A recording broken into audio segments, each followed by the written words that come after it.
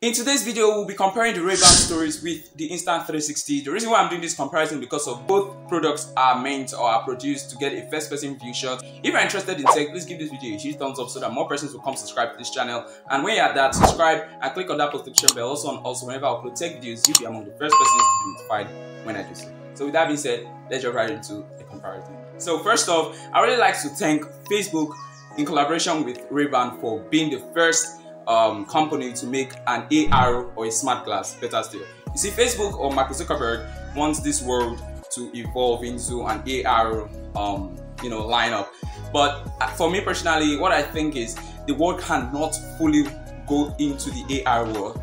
People will still have an AR device in their homes or in their offices, which I'm sure might be a little bit expensive, if not very expensive.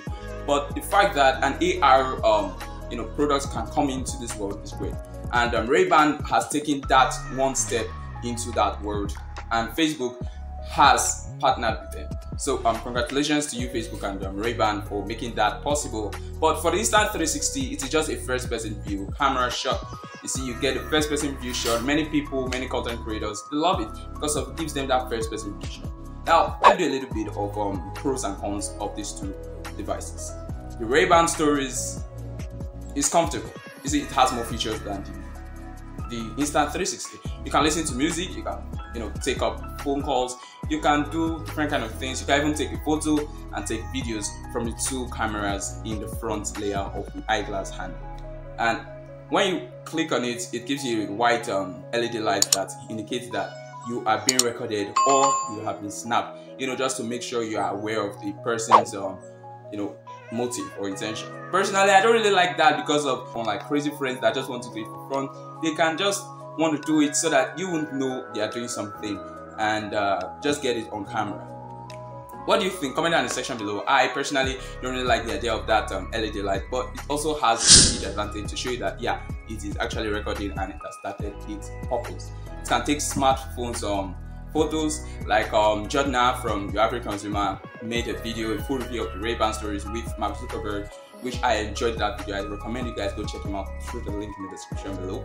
It is very educational and the way he explained it was that his son um, Austin, he likes to take photos and videos of him, but bringing out the smartphone totally distracts him because of you know he's a child. Every child will be distracted with any little thing that comes their way yeah, Ray-Ban did a good job. Thumbs up to you. You know, keep it up.